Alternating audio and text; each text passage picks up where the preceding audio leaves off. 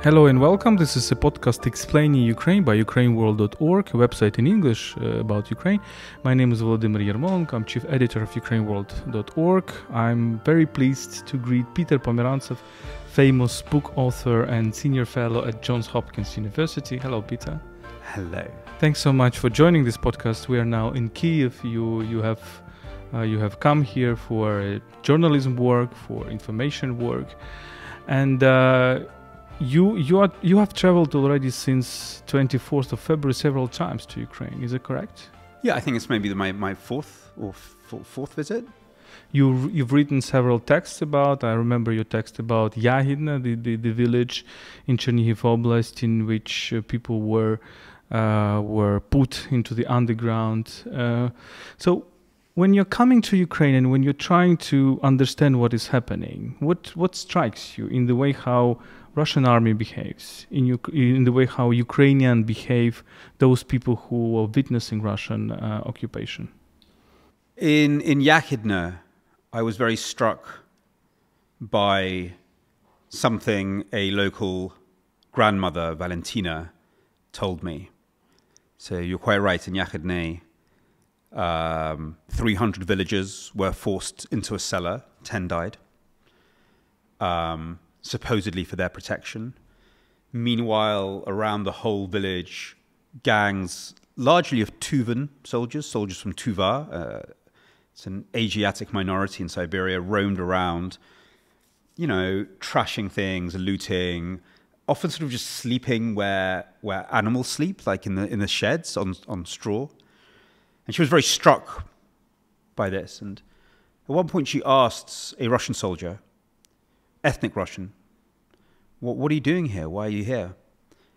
And he said, Well, we want you to be with us. And this phrase, with us, intrigues me. What do we mean to be with us? What is it that, that Russia wants Ukraine to be with? I mean, we can all see that this is openly an empire building project. Putin talks about it that way, how he wants to repeat Peter the Great's conquests. But what sort of empire is it? You know, it's a, an ideological empire, uh, some other sort of empire. What is it that the Russians are trying to create, and what do they want people to be part of? And, and the more you, you dig into this question, and I think this is both indicative in the behavior of Russian soldiers, but also in the propaganda that Russia spreads. And, and the conclusion I've sort of come to that this isn't really an empire in any clear ideological sense but it's an empire based on an empire of humiliation. When Russia says they want others to be with them, they want others to be brought into and trapped into the cycle of humiliation and aggression, of endless sadomasochism that Russia practices internally and almost wants to bring others into. So be with us means actually be under us. So there is just a small difference of words, prepositions. But it's more than that because the Russians do because that's that's the classic empire, you know, where where but but but what But under us I mean not in a political sense of the word, but in a sadomasochistic or even sexual sense of the word. And be trapped in the whole cycle. I mean it's it's almost as if Russia wants to drag Ukraine back into into this sort of really messed up performance of, of Russia's agonies. I mean, think about what Russia does when it comes here. It starts recreating stuff from the Soviet Union. So the LNR and DNR recreated sort of the Soviet Union with its bizarre, you know, pseudo youth groups and um, sort of celebration of, of Soviet horrors. Um, it comes back to Ukraine and sort of like repeats, you know, something that it did in, in Soviet times, sort of the execution of intelligentsia, using hunger as a weapon. Um, but what makes Russia different from other empires? I mean, whether it's the Nazis or, or, or the English Empire, for example, the British Empire, you know, that there was a clear sort of superior class, the British, and they were trying to bring enlightenment and terror to to the countries under them. But but the British to themselves were quite self-respectful. If you were British within the system, you, you were privileged.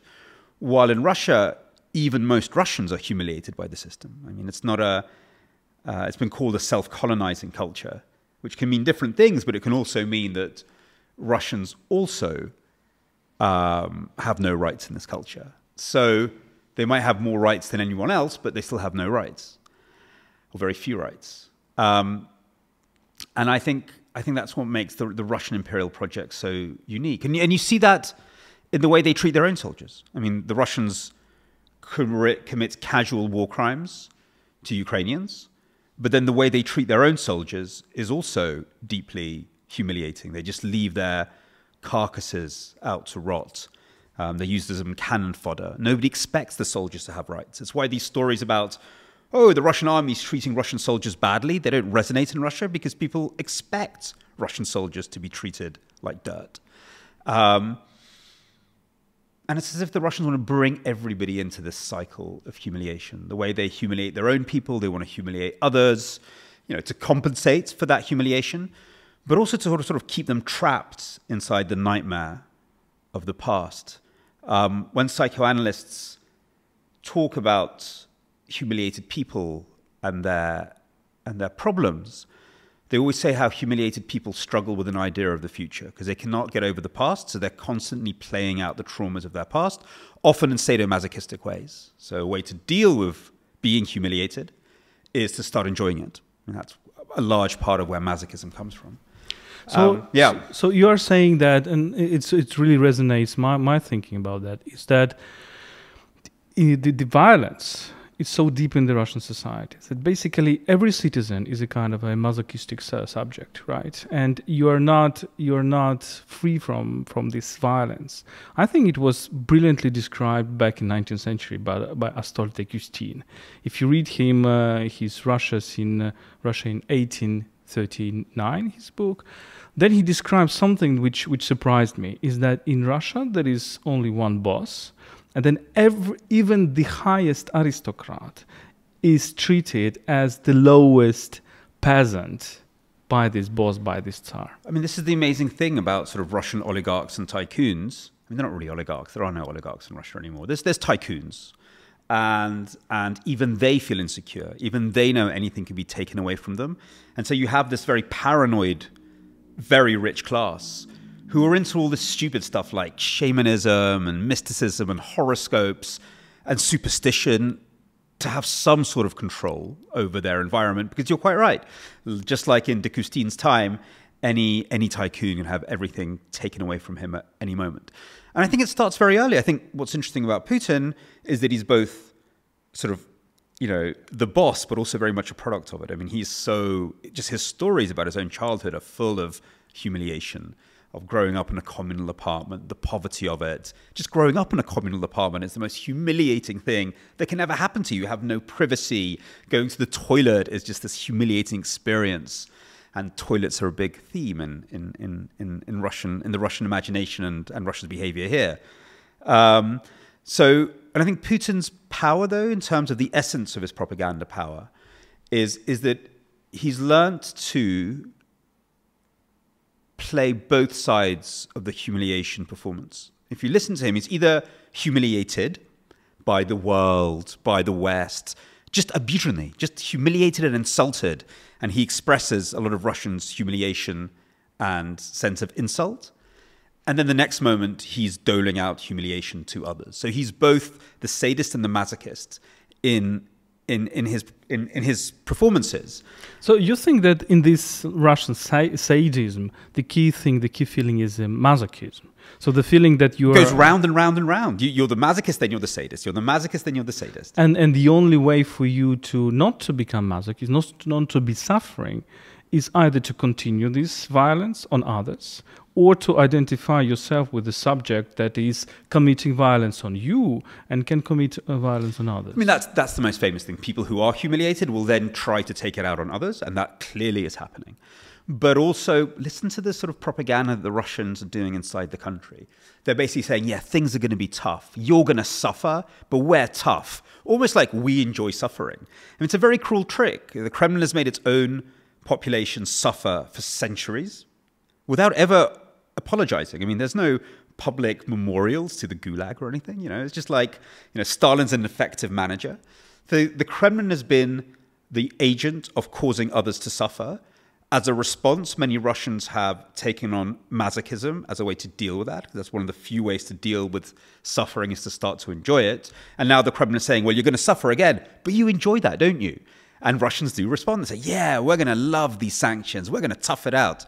Because one of the few ways a victim can make sense of himself is by celebrating the victimhood.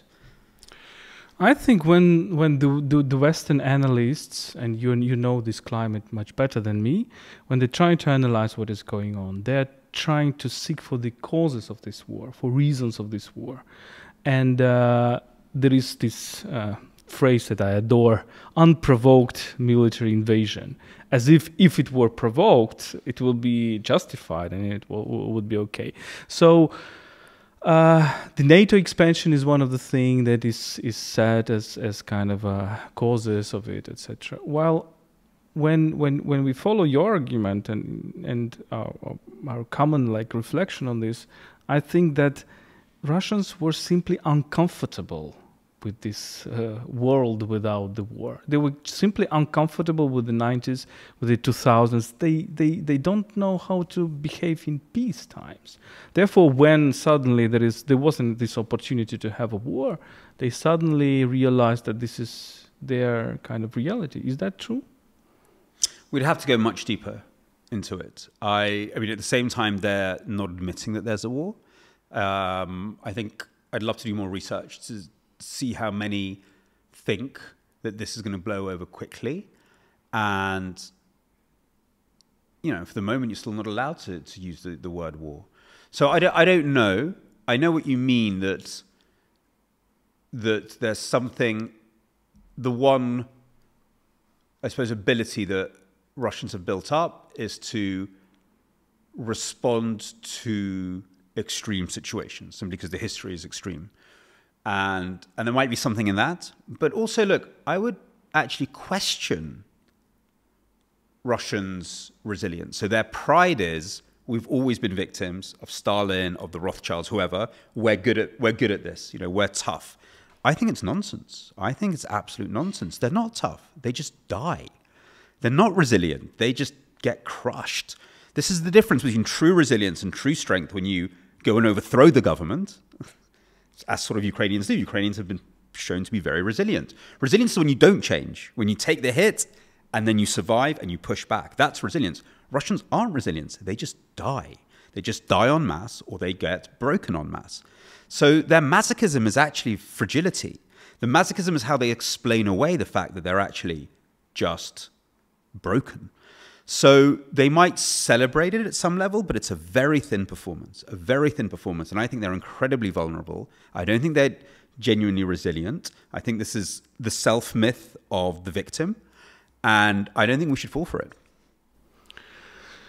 When we describe this war, we see the pattern uh, which is going on uh, from the Second World War and even before that uh, Russians are really trying to take Ukraine by uh, qu- quantity the number of people. And you say they are they are leaving their soldiers uh, without taking them that don't really care about the number of, of, of, of victims of their casualties.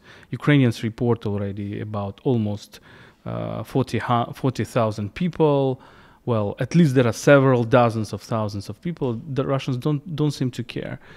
Do you think that that that is also the way how they are waging this war?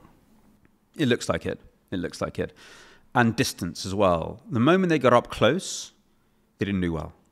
You know, there's like the moment they had to look Ukrainians in the eye, they didn't do well. You know, in these these sort of in these sort of battles at the start, and now it's just distance. It's the pounding of artillery from far away. I mean, there's a dehumanized element to that already. They don't want to sort of like they both send their troops, not ca- caring about the casualties, and the use of mass artillery is also there's a distance to it. There's a unhuman way of war in some ways. Um, they seem more comfortable with that, you know. But if we describe this climate of Russian political culture, whatever, is there any way out? Do you do you see because there is a big discussion if there is another Russia, uh, and by another Russia, I think some of the Western governments misleadingly perceive well, just some of the opposition staff, opposition leaders, people who uh, left Russia. But my question is whether there is another concept of Russia, whether there is another concept of uh, political organization of Russia, which would uh, go away from this vertical society in which you are either dominated or, or dominating. Do you think there is something possible? There's always something possible. I mean, you know, this is what people said about Germany that it could only be this way. They said this about Spain that could only be dictatorial. They said this about Japan that it could only be dictatorial. We, have we've, we've heard this sort of cliche many times. The, the fact is, though, that change usually happens either after a crushing defeat. In the case of Germany and Japan, de facto colonization for a while. For a while, not now, but for a while. Um, Spain evolved differently, but we have plenty of experiences historically of cultures that were dismissed as unable to do democracy, but they did change. But they had to go through a lot of self recognition and some very, very big breaks in their history. I think the, but that's a very philosophical question, and I don't think it's an important question during a war. It's an important question in the whole history of things, but all that matters now is winning this war, and um, and breaking this regime. Now, to break this regime, you don't need this huge change. You just have to, you know, you just have to make, you just have to impel Russian decision makers to change their political calculation. And the danger in the West is that it becomes, it's either Putin or the complete collapse of Russia, which scares a lot of people because of where do the nuclear weapons go? That's the position since 1993. And I think we don't need to get stuck into this into this binary. There's so many other stages of things that will ensure that Russia changes political direction, that war criminals are given up, that many, many other things happen, which would, for the moment at least, signify victory in this war. But still, there is a question. Okay, you change the regime, the regime collapse. Imagine this utopian scenario. But, but then the, the yeah. then the, the, the relations between the people. We are talking about like deep uh, pattern of relations between the people. And uh, the question the question is for me, for example, that okay, Germany, but in Germany you have a big liberal tradition before Nazism. You have Immanuel Kant, you have uh, Goethe, you have whatever you whatever you want. You you had the decentralized medieval empire in which cities had autonomy, etc. Well, my my fear is that Russians suddenly understand that they are, they have no nothing to to be based upon in terms of alternative tradition. The only political traditions they have is the Tsarism empire, and that's it.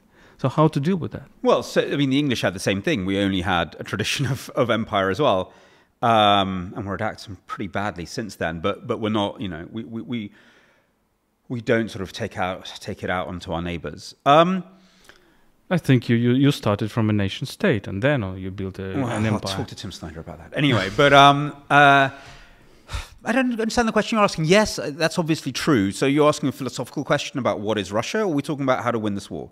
Um, you know, how to win this war is to change the political calculation in Russia, get a sort of breather where Russia goes through one of its periods of slightly thinking about its future, and in the meanwhile, Ukraine becomes armed to the teeth and joins genuine alliances, which will make sure that it's never invaded again. That's the way out of this war.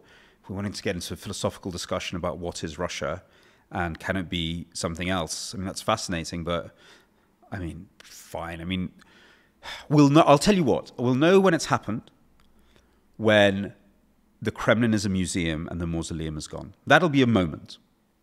That'll be a moment when they say, okay, our tradition up till now is wedded to a horrific tradition of not just any old empire building. All empires are awful, but an empire of, of humiliation and, and sadism. And we are now going to turn the Kremlin into a museum of occupation and horror. The mausoleum goes. And we can think of two or three other indicators that would tell us that Russia has become different. Uh, but, you know, that's not my concern right now.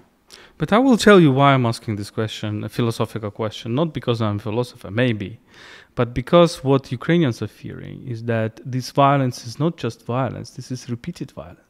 This is violence which is going on, on and on. Yeah, but sure. But and they, uh, but and take- and they- yeah. and and the problem is that this violence, for example, it can stem back from Stalinism, but Stalinism can stem back from uh, 19th century Russia. 19th century Russia can can stem back from uh, I don't know Peter Peter the First, etc. And the problem is is that if you change the regime, okay, every every every century you have the changing of regime in Russia, and you have westernizers. Peter the First is a westernizer. Alexander the First is a westernizer. Bolsheviks are westernizer, and even Yeltsin and Putin are westernizers. And the problem is, is that if you bring Western ideas of democracy or whatever, of Marxism, or as Alexander brought the ideas of um, Masonism or whatever, if you don't change these uh, internal relations in, in Russia between people, uh, you you will get the same thing. You will get another regime in ten years, which will Mm. uh, attempt to build another empire. Well, not in 10 years. You'll, you'll get it in two years. But inside those two years, you, we can try to, ins- we need to ensure that Ukraine is as safe as Poland. So, change? I don't know if it can change. I think the change might well come from the way sadomasochistic cultures go, which is to a point of self destruction. But what I'm worried about is winning this war well enough now.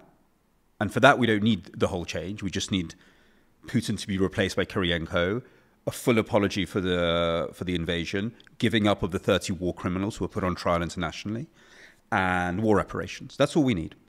And while that happens, we ensure that Ukraine joins NATO and is as safe as Estonia and Poland. And Russia, we can think about changing it. I'm sure there's there's Russians who will try to change it, but as big a chance is that the sadomasochism turns inwards. Uh, if you follow Russian propaganda, I think one of the messages that also kind of worries me is that it seems that some of them are even even agree with the fact that Ukraine will join NATO, but the tiny part. This was uh, this was clearly said by I think by S- Simonyan uh, just before the before this invasion I think last year or something. That okay Russia can agree that the tiny part of Ukraine like western Ukraine maybe part of central Ukraine will join NATO. We don't care about it but the rest is ours. And uh, when we think about this war I'm thinking increasingly about the parallel with Poland uh, the, the, the history of Poland, let's say from the divisions of Poland until 1980, 1939, where the existence of Poland was a key factor for Central Europe. And when imperial countries like Russia, after Poland regained its independence after this, the First World War, wanted to divide Poland again. Do you think that this is one of the, they're willing to divide Ukraine? Not Yeah, to capture Ukraine maybe totally, but to divide it into several different parts. Yeah, they talk about it openly. Hmm? They talk about that openly as one of their options. Yeah. Yeah, I mean that's not a secret. They were ready to divide it with Poland. like that, we we thought that it was a joke. I'm not sure that was a joke. I think they meant it. Yeah, definitely. Let's talk about Ukraine. Uh, you're coming here. What what surprises are? Uh, what surprises you? There is probably a banality to say that okay, you have we, Ukrainians have a, a big civil society that is strong, that is getting stronger. But what what what is changing since 2014? Do you do you see changes? Since 2014, I see a lot of changes. But but do you mean right now, since since February 24th, or Yes, yes. Let's say Ukraine during the the second Russian invasion compared to the first Russian invasion. Well, listen, I mean, we're in the middle of a war, and so all the focus on the war, I see a lot of psychological trauma at all levels of society, and I really worry about who's going to deal with that. Whether it's kids who have been staying the night in the metro, through to soldiers, through to just ordinary people, all of whom have been in incredible stress the last four months, and and there's the levels of sort of trauma are very deep, and I, I, it's very important that, people work with that that's what I see, and I see people grieving for their lost ones, and I see incredible unity and resilience, but there's huge costs which have to be dealt with. Um, so I see that. I, I, I suppose what's really changed is now the whole world knows about Ukraine, which is a new thing. In all our research before February 24th that you helped with Ukraine's always talking about like no one knows us. No, no. This moment, will someone recognize us? Ukraine is now a name on everybody's lips. I just got back from, I was in England recently, and there's a Ukrainian flag on every village church. I mean, it's, it's mind blowing, and we need to think very carefully about why this happened and what it means because there was sympathy for Syrians, there was sympathy for Kosovars. There's you know there's been lots of sympathy before for Bosnians in my lifetime but not this sense of причастие, that's the Russian word, the sense of actually being part of one process. Beyond empathy, it's, it's actually the sense of being a family. And I still haven't under, quite worked out how that happened. What was the miracle that made that happen? Because it's much stronger than sympathy and empathy. It's a real sense of connection and co experience. Not everywhere, but in a lot of places. And I wonder, I'd love to know how Ukrainians feel the way that they are now so on the map of the world and, and a generator of meaning.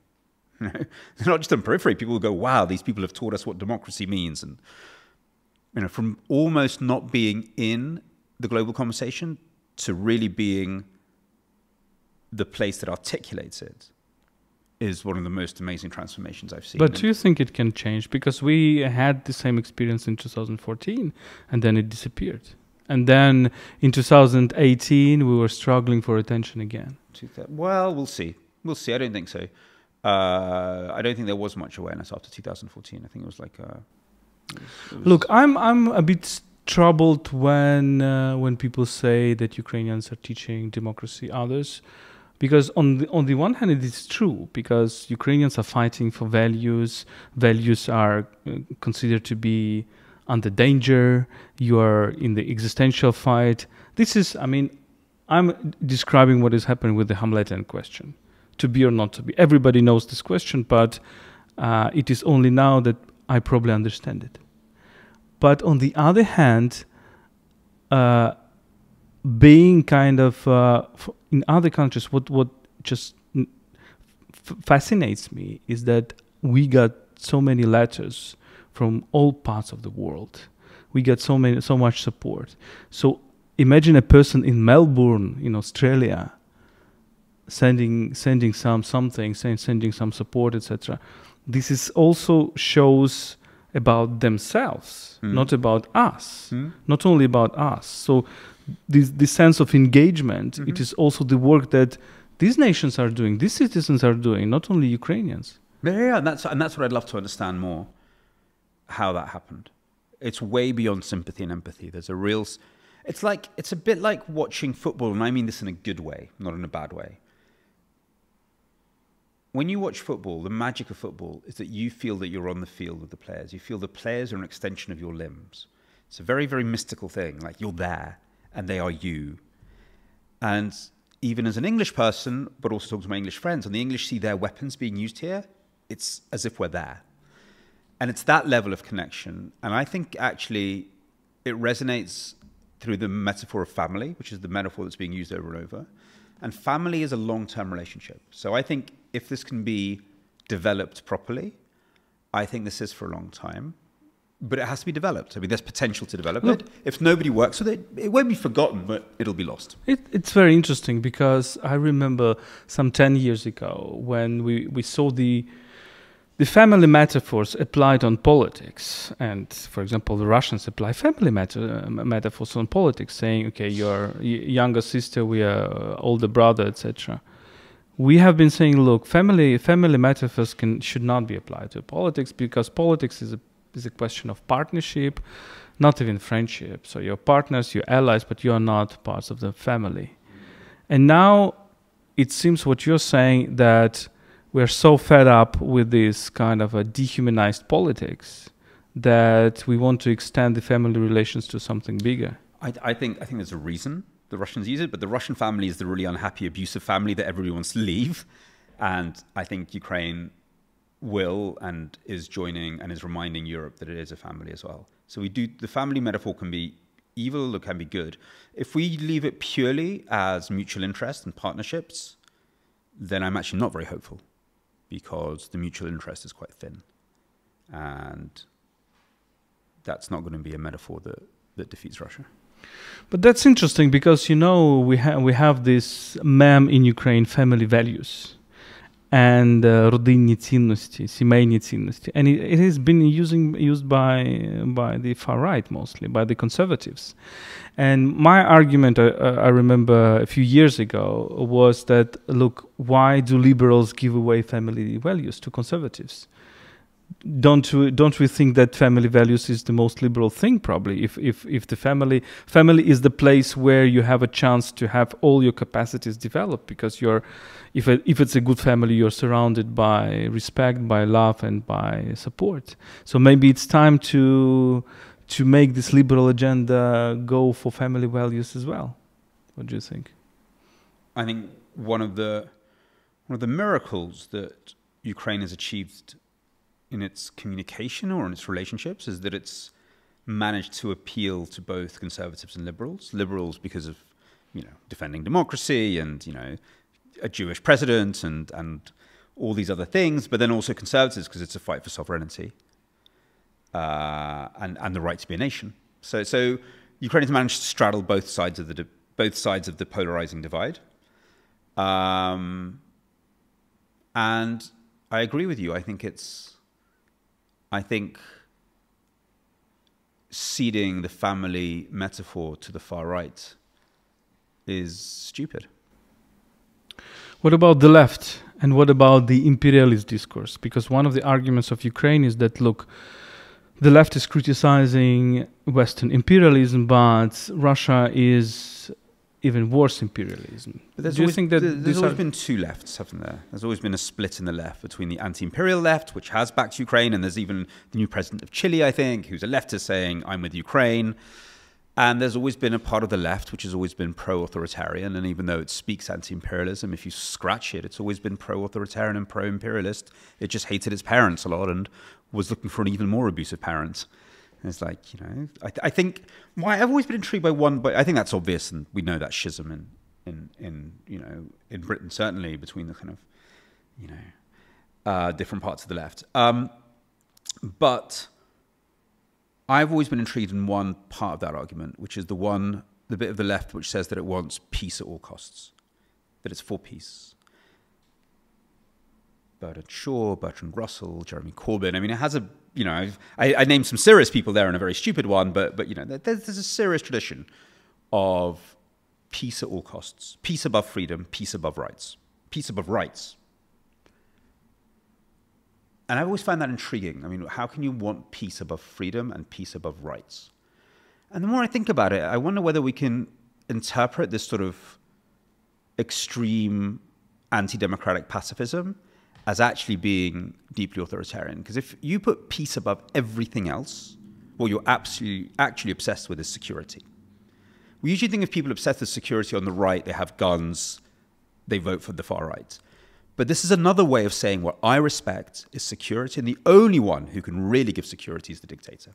That's basically the argument of Lukashenko for decades. Yeah. One of the key arguments but, of but Lukashenko. You go, tell, you go and tell these guys that actually they have an authoritarian mentality. They think they're liberal and pluralistic. They're not to yearn for peace over rights and freedoms is actually a covert, well, not covert, it's actually another way of, of prioritizing security and strength and oppression over, over, over dignity.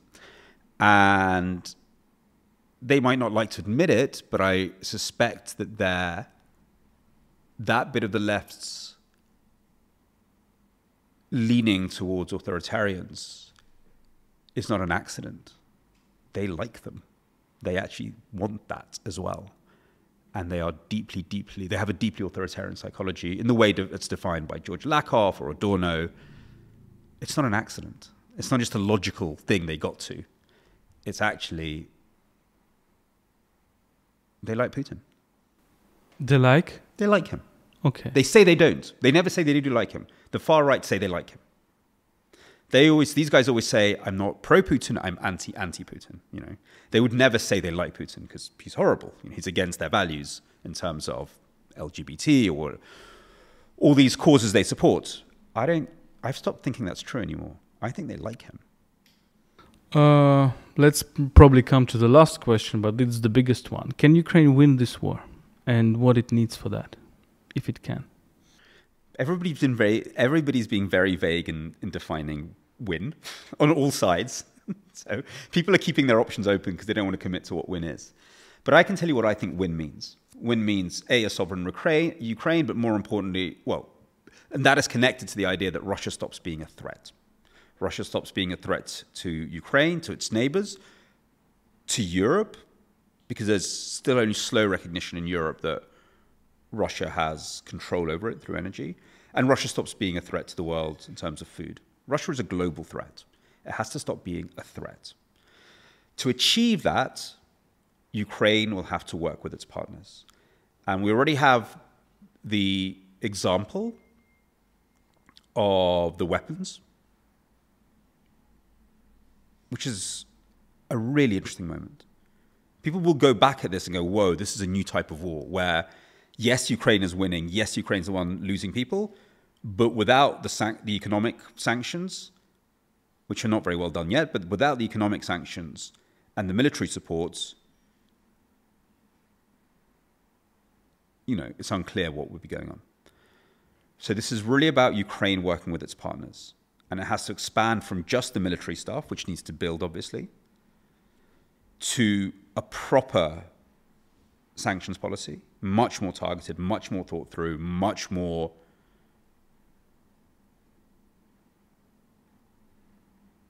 much more effective and clinical with a real understanding of Russia's weak spots an information policy, which I don't think Ukraine can do on its own either. Ukraine can't pressure South Africa, it has no leverage. Ukraine's partners can. Ukraine can't really leverage Brazil, some of its partners can. Ukraine can't really coax China into the right decisions, some of its partners can. So it'll all depend on how this completely new configuration of Ukraine and its partners works out. And it has to go way beyond military to include information, economic, and political leverage. If we can start getting this right, it'll also, first, it'll be a completely new type of war in my mind. I'm not a war historian, but it feels like a very new type of war. Very much a war of globalization, where some can risk fighting or have to fight, others can do other things, you know, where everyone's trying to work out the angles, how they can take part without blowing up the whole system and Russia as well from its side, but where everyone's treating it as a war. So, from our side, the, the, the partners, I don't care what words we use, but we have to start being at war with Russia. And we don't have to use that word because it's scary in many ways, but as systems, we have to go, we're at war with Russia. It's a war that we're fighting in this weird way. We're not going to risk military war, but we're at war with them. The way they openly think that we're at war, they're at war with us and we're going to start using our economic, political, and informational leverage in ways that will that will win this war and that will stop it from being a threat. So we're not quite there yet. Some are. If you talk to people in the corridors of power in some European countries, they're actually there mentally already. But we still haven't like we don't have a strategy for that yet. We don't have resources for that yet. And on its side, Ukraine has to work out how it uses the partner as well. So let's take Hungary. Hungary can be dealt with. It'll take a combination of charm and cooperation between Ukraine and Hungary and incredible pressure from Ukraine's Central European allies onto Hungary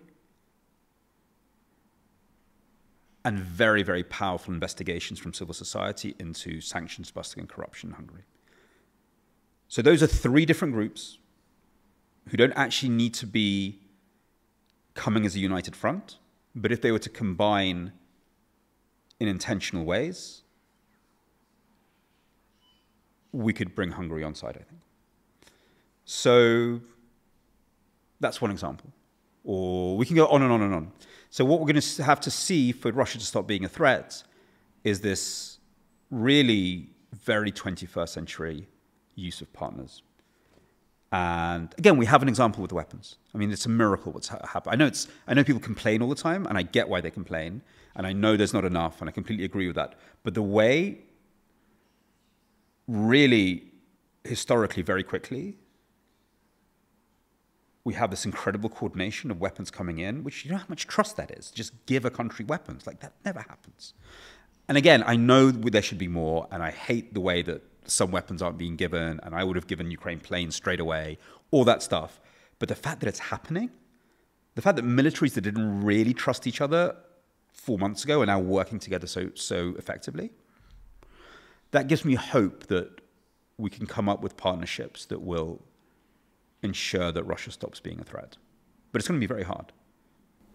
Thank you. Thank you, Peter. We had Peter Pomerantsev, a famous book author and uh, senior fellow at uh, Johns Hopkins University, author of books like This Is Not Propaganda, Nothing is True and Everything is Possible. Those are the only two. and uh, other, other fantastic, fantastic articles and texts. Uh, this was Explaining Ukraine uh, podcast by ukraineworld.org. My name is Volodymyr Yermolenko. I'm chief editor of ukraineworld.org. You can support us on patreon.com slash ukraineworld and uh, follow us and uh, stand with Ukraine.